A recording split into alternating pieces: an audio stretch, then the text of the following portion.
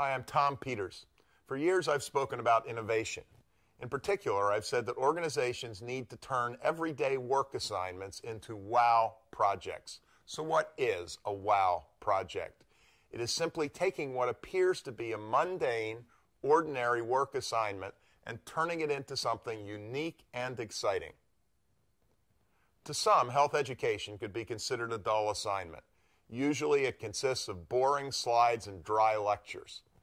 In South Bend, Indiana, we found a group of people who turned it into a wow project and in the process reimagined what health education can be all about.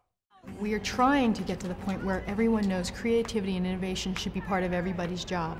But at the same time, we have not steered away from the discipline we need to run a first class medical center.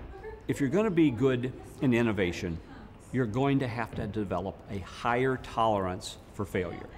Innovation itself is a messy, sloppy, irrational, difficult to manage kind of a process.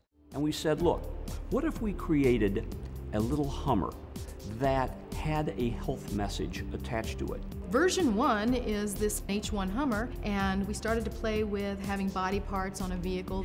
And we took it to some kids, uh, middle school, and said, what if that came up on the steps of your school? Would you go out and pay attention to it? When we got enough, hey, cool, we then went to version 2.0. 2.0 is a version about this big that's radio controlled. And it got a little edgier and a little more specific with what the body parts and some of the things that the Hummer would do. Once we got enough pretty cools with that version, we went to version 3.0, which is the big HealthWorks Hummer.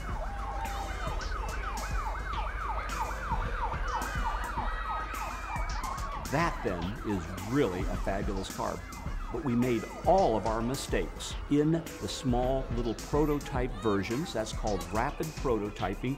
We involved the kids themselves in the design of what was cool and what was not. We didn't assume that a bunch of adults would know what's cool for kids. What is that? Is that a brain up there? Yeah!